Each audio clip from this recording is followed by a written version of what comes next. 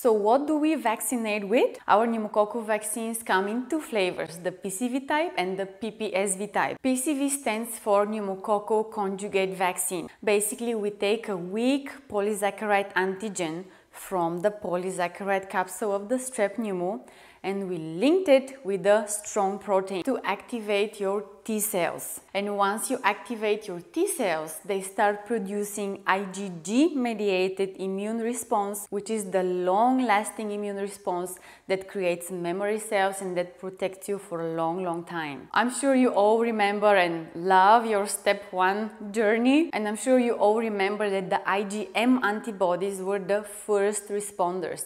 M for mainly first responders. The IgG antibodies were the grown-up response. So if you wish the IgM antibodies start the fight and IgG finishes it and writes the memoirs.